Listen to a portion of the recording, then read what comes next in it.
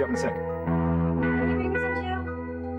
तो इस मूवी की कहानी शुरू होती है टॉम से, जो कि किसी को बड़ी बेरहमी से मार रहा था और उसके कपड़े और फेस पर खून लगा हुआ था, जिसे देखकर ही लग रहा था कि उसने काफ़ी बेरहमी से किसी को मारा होगा।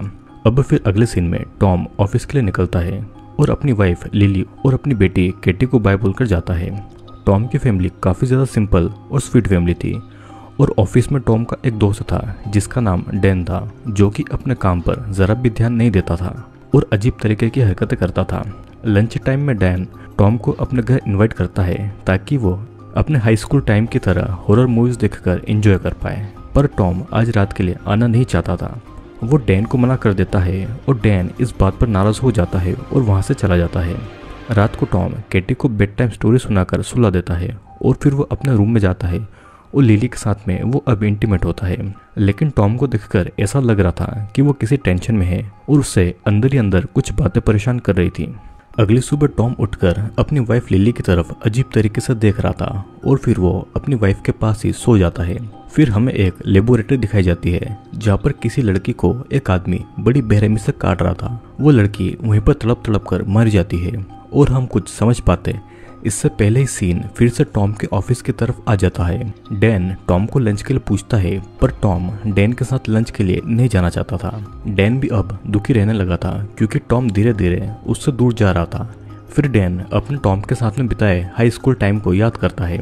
हाई स्कूल टाइम में टॉम और डैन बहुत अच्छे दोस्त थे और रात को डैन अपने और टॉम के वीडियोस देख रहा था, जब वो टीनेजर थे। अगले दिन फिर डैन ऑफ़िस में नोटिस करता है कि टॉम ऑफ़िस नहीं आया है। और डैन टॉम के घर पर कॉल लगाता है। लिली डैन को कहती है कि टॉम को दूसरी जॉब मिल गई है और वे लोग ये शहर छोड़कर दूसरी जगह पर मूव इन करने जा रहे हैं। लिली को भी ये बात अजीब लगी थी कि टॉम ने डैन को इस बारे में कुछ भी नहीं बताया है। फिर रात के समय डैन टॉम के घर पर आकर उसके घर के बाहर बैठ जाता है और तभी टॉम डैन के पास आता है। डैन को ये काफ़ी बुरा लगता है कि टॉम ने उसे कुछ भी नहीं बताया है और वो दोनों बचपन से दोस्त थे पर टॉम ने उसके नए जॉब और शहर को छोड़कर जाने वाली बात नहीं बताई थी। लेकिन टॉम डैन से ठीक तरीके से बातें नहीं करता है और अगले दिन बात करने का बोलकर वो उसे अपने घर भेज देता है। पर अगले दिन भी ऑफ़िस में टॉम डैन से बात करना तो दूर उसकी तरफ़ वो देखता भी नहीं है। लंच के समय में भी डॉन टॉम से पूछता है कि उसने उसे कुछ भी क्यों नहीं बताया है और टॉम कहता है कि मैं बताना चाहता था, पर मुझे ये पता नहीं था कि तुम किस तरह रिएक्ट करते हैं। और इसीलिए उसने उसे कुछ भी नहीं बताया है। अब अगले दिन फिर से डैन टॉम को अपने घर पर इनवाइट करता है मूवी देखने के लिए। लेकिन इस बार टॉम डैन को मना नहीं कर पाता है। और रात को टॉम और डैन कुछ डिस्टर्बिंग वीडियोस देख रहे थे, जहाँ पर एक आदमी एक लड़के के पेट को काटकर उसके कटे हुए हिस्से में अपने हाथ डाल रहा था। डैन फिर टॉम को पूछता है कि वो इस वीडियो के बारे में क्या सोचता है, और टॉम उस वीडियो को देखकर हैरान हो गया था। वो बिल्कुल असली जैसा वीडियो लग रहा था और टॉम डैन से पूछता है कि उसे ये वीडियो कहाँ से मिली है। डैन कहता है कि उसे ये वीडियो ऑनलाइन मिली है। अब टॉम अपने घर पर जाना चाहता था, पर डैन टॉम को रोककर कहता है कि उनको इस वीडियो के बारे में कुछ बातें करना चाहिए। पर टॉम उस वीडियो फुटेज को देखकर इतना ज़्यादा डिस्टर्ब हो गया था कि वो वहाँ से चला गया था। अब रात को टॉम सोते समय भी इन्हीं वीडियोस के बारे में सोच रहा था। जहाँ पर एक आदमी एक लड़की के मुँह पर टेप लगाता है, फिर वो उस लड़की के ब्रेस्ट को काट देता है और तब वो लड़की तड़प तड़प कर मर जाती है। लेकिन टॉम को सब सोचकर खुशी महसूस हो रही थी। अब अगले दिन लंच पर टॉम डैन से पूछता है कि उसके पास और कितनी सीडीज है, जो कि उन्होंने कल रात को देखी थी। डैन कहता है कि उसके पास में बस एक ही सीडी थी। फिर टॉम उस सीडी को डिस्ट्रॉय करने को कहता है, क्योंकि वो किसी क्राइम की रियल फुटेज लग रही थी। अब रात को टॉम अपनी बेटी केटी के साथ में टाइम स्पेंड कर रहा था, पर केटी के पेट को देखकर टॉम को उसी वीडियो के मर्डर की याद आ रही थी। और उसके बाद रात को टॉम और लिली इंटीमेट होते हैं। दूसरी तरफ़ डैन वही डिस्टर्बिंग वीडियोस देख रहा था और वो अब उन वीडियो का एडिक्टेड हो गया था। मतलब कि अब उसे उन वीडियोस की लत लग गई थी। अब अगले दिन डैन ऑफ़िस में लेट आता है और लंच टाइम में टॉम डैन से पूछता है कि वो लेट क्यों हुआ? इस पर डैन बताता है कि उसके पास उन वीडियो की नई टेप का पार्सल आया है तो वो उसे देखने में लेट हो गया था। टॉम डैन से नाराज़ होता है कि उसने फिर से उन वीडियोस को ऑर्डर किया था। और डैन बताता है कि उसने ये टॉम के मना करने से पहले ही ऑर्डर कर दिए थे। और डैन ये भी कहता है कि वो इन वीडियोस को डिस्ट्रॉय कर देगा। पर उससे पहले उन्हें एक बार इन वीडियोस को देखकर ये जानना होगा कि इन वीडियोस में क्या है।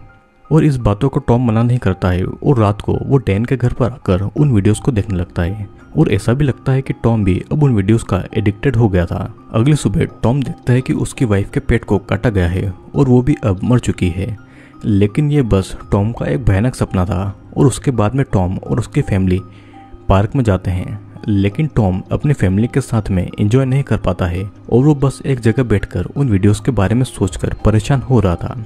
लिली टॉम के पास में आकर उसकी परेशानी की वजह पूछती है और टॉम लिली को कुछ नहीं बताता है और कहता है कि सब कुछ बिल्कुल ठीक है। अब रात को टॉम को नींद नहीं आती है।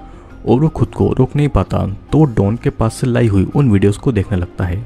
और लिली उसके पास में आना चाहती थी, लेकिन टॉम उसे सोने के लिए फिर से भेज देता है। अब इधर डैन रेस्टोरेंट की एक वेट्रेस सेली से बहुत दिनों से बातें कर रहा था, और आज डैन सेली को अपने घर पर बुला लेता है। और अब यहाँ पर सेली और डैन एक दूसरे के साथ में इंटीमेट होते हैं। फिर अगले दिन टॉम लंच के टाइम पर डैन को वो सीडी वापस कर देता है, और उन सारी वीडियोस की सीडीज को जल्दी से डिस्ट्रॉय करने को कह देता है। और वो नई सीडी ऑर्डर करने के लिए उसे मना भी करता है। लेकिन डॉन को देखकर ऐसा लग रहा था कि उसे इन सब बातों से कोई फ़र्क नहीं पड़ता है। फिर रात को लिली टॉम से डैन के बारे में पूछती है और ये भी कहती है कि वो डैन को कभी डिनर पर लेकर आए।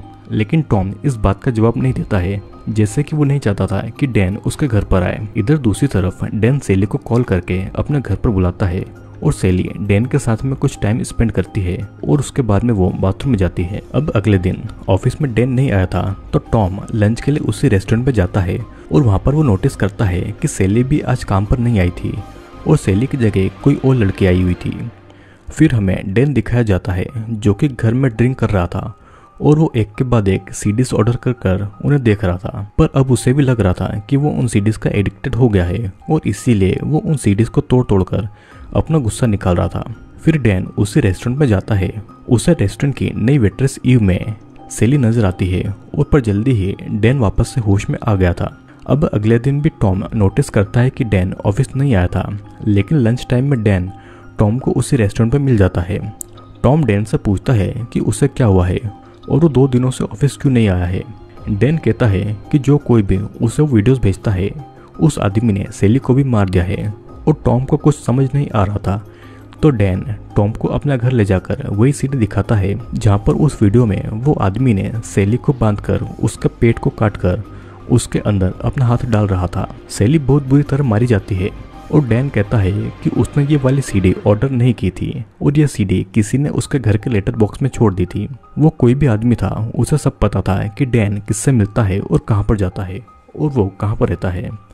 टॉम फिर फ़ौरन अपने घर के लिए निकल जाता है और डैन को पुलिस को कॉल करने को कहता है। घर जाकर टॉम अपने फैमिली को सेफ़ देखकर चैन के साँसें लेता है। अगले दिन टॉम डैन के घर पर जाता है और डैन कहता है कि वो पुलिस को कुछ नहीं बता सकते हैं, क्योंकि पुलिस ये सोचेगी कि वो ही इन लोगों को मार रहे हैं, जिस पर टॉम कहता है कि जब तुमने सेली को नहीं मारा है तो तुम डर क्यों रहे हो? और हमारे पास तो वीडियो भी है जिसमें सेली मारी जा रही थी और उनके पास में बाकी मर्डर के फुटेजेस भी है। जिसे देखने के बाद में पुलिस उन किलर को पकड़ लेगी। लेकिन डैन ने सारी सीडी पहले ही डिस्ट्रॉय कर दी थी, जिसे सुनने के बाद में टॉम डैन पर गुस्सा होता है कि पुलिस को दिखाए बिना उसने उन सीडीज को डिस्ट्रॉय कर दिया है। और जवाब में डैन बस इतना कहता है कि वो बहुत ज़्यादा डरा हुआ था और इसीलिए उसने उन सीडीज को डिस्ट्रॉय किया था। और वैसे भी पुलिस उसी पर शक करती, क्योंकि सेली को आखिरी पर ज़िंदा उसी ने उसके घर पर देखा था। टॉम ये भी कहता है कि वो उस वेबसाइट की कंप्लेंट कर सकते हैं। जहाँ पर उसे वो सीडी मिली थी। और उन वेबसाइट वालों को पता होगा कि वो सीडी कौन बेच रहा है, जिसके जवाब में डेन ये कहता है कि ऐसी कोई भी वेबसाइट नहीं है। उसे बस किसी ने कमेंट में उन वीडियोस का लिंक मिला था और उसने कमेंट में ही अपना घर का एड्रेस डाल दिया था और सारी सीढ़ियाँ उसके घर पर डिलीवर हो गई थी। ये सुनने के बाद में टॉम डैन पर बहुत ज़्यादा गुस्सा होता है और अब उनकी और उसकी फैमिली की लाइफ खतरे में थी। डैन कहता है कि हो सकता है कि ये सब कुछ झूठ हो और इन टेप्स के वीडियोस बिल्कुल नकली हो। टॉम ये भी कहता है कि सैली मर चुकी है और ये वीडियोस झूठी कैसे हो सकती है? क्योंकि ये सभी मर्डर्स असली है और टॉम डैन के साथ में अपनी दोस्ती खत्म करके वहाँ से चला जाता है। टॉम अब बहुत परेशान रहने लगा था और उससे हर समय ये टेंशन लगी रहती थी कि उसकी फैमिली को कोई खतरा ना हो और उसकी वाइफ लिली भी उसके बिहेवियर को लेकर बहुत ज़्यादा परेशान थी। अब अगले दिन डैन फिर से ऑफ़िस नहीं आता है और टॉम जब घर पर था तो डैन कॉल करता है। टॉम कॉल उठा पाता, उससे पहले ही लिली दूसरी लाइन पर कॉल उठा लेती है और रात को टॉम लिली से डैन से बात करने के लिए मना करता है। वो ये भी कहता है कि वो जितनी जल्दी हो सके इस शहर से निकल जाएँगे, लेकिन इस बात से लिली और टॉम के बीच में झगड़ा हो जाता है, क्योंकि टॉम लिली को कुछ भी नहीं बता रहा था। टॉम फिर लिली से उस पर गुस्सा करने के लिए माफ़ी भी माँगता है। अब अगले दिन डैन ऑफ़िस तो नहीं आता है पर वो टॉम को ऑफ़िस कॉल करता है और टॉम डैन से बात नहीं करना चाहता था, लेकिन डैन टॉम से माफ़ी माँगता है और वो उसे एक बार बात करने के लिए कहता है। अब डैन टॉम को अपने घर पर बुला रहा था ताकि वे दोनों टाइम स्पेंड कर पाए और उनकी दोस्ती न टूटे, लेकिन टॉम ऐसा करने से मना कर देता है और फ़ोन काट देता है। फिर अगले दिन टॉम अपनी नई जॉब के लिए दूसरे शहर निकल जाता है ताकि वो मूव इन करने के लिए सब कुछ ठीक कर पाए। और टॉम के जाने के बाद में लिली डैन को रात के डिनर के लिए इनवाइट करती है। और रात को टॉम से फ़ोन पे बात करते समय लिली उसे बता देती है कि उसने डैन को खाने के लिए बुलाया है, जिसे सुनने के बाद में टॉम लिली से बहुत नाराज़ होता है कि उसके घर पर न होने के समय उसने क्यों बिना पूछे डैन को डिनर पर इनवाइट किया है। लेकिन लिली टॉम को अच्छे से समझाती है तो टॉम मान जाता है और कुछ समय के बाद में डैन वाइन लेकर डिनर के लिए टॉम के घर पर आ गया था। सीन कट होता है और अगली सुबह एक भयानक सपने के साथ में टॉम की नींद खुल जाती है। टॉम फ़ौरन ही अपने शहर आने के लिए निकल जाता है और जब टॉम घर पर आकर देखता है तो उसकी वाइफ और बेटी घर पर नहीं थी। उसे बस एक सीडी पड़ी हुई मिलती है और टॉम उस सीडी को प्ले करता है। उस सीडी में लिली और केटी को बेरहमी से काटकर मारा जा रहा था और ये देखकर टॉम बहुत ज़्यादा दुखी होता है और वो बहुत रोता है, जिसके बाद में वो गुस्से में डैन के घर पर जाकर उसे बहुत मारता है। और डैन पूरा खून में लथपथ हो गया था। और ये वही मूवी का स्टार्टिंग वाला सीन था, जहाँ पर डैन के मुँह और नाक पर हाथ रखकर टॉम डैन की साँसें रोककर उसे मार डालता है। अब ऐसा लग रहा था कि डैन ने ही उसकी वाइफ और बेटे को मारा होगा, क्योंकि आखिरी बार डैन ही टॉम के घर पर आया था और टॉम वापस अपने घर पर आ जाता है। मूवी में कहीं भी ये नहीं बताया गया है कि उन लोगों को मारने वाला असली किलर कौन है, और वो सीडीज कौन बना रहा है, और वो कौन बेचता है। या फिर ये भी हो सकता है कि डैन खुद ही उन वीडियोस को बनाता है लोगों को मार मार के, और वो कुछ ऐसी स्टोरी बनाता है जैसे कि कोई दूसरा व्यक्ति उसे उन सीडीज को भेज रहा है। और शायद ये भी हो सकता है कि डैन अपनी अकेली लाइफ से परेशान हो गया हो, और इसीलिए उसने सारी किलिंग की हो। तो दोस्तों, आपको क्या लगता है इस मूवी के बारे में? नीचे कमेंट ज़रूर करना, मैं आपके कमेंट का इंतज़ार करूँगा।